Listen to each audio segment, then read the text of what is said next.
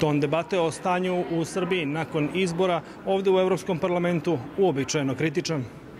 Takav ton dolazio je uglavnom od poslanika grupacija koje su podržale održavanje Strasburške debate o postizbornoj situaciji prošle nedelje, a to su socijaldemokrate, zeleni liberali i levica. Oni tvrde da je tokom izbora u Srbiji 17. decembra bilo nepravilnosti dok nekolicina poziva i na međunarodnu istragu. Predstavnici Evropske komisije i Evropske diplomatske službe rekli su da bi te institucije podržale nezavisnu istragu nakon što stigne konačni izveštaj Odira, OEPS-ove kancelarije za demokratske institucije i ljudska prava koji bi trebalo da sadrži preporuke i smernice za neke buduće izbore.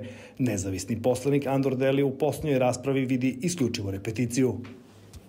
Ništa se nije promenilo, e, slušamo čak identične priloge od nekih kolega koji ni dalje ne mogu da shvate da e, su se izbori završili u Srbiji, da imamo konačne rezultate izbora i da naprosto život treba da krene dalje.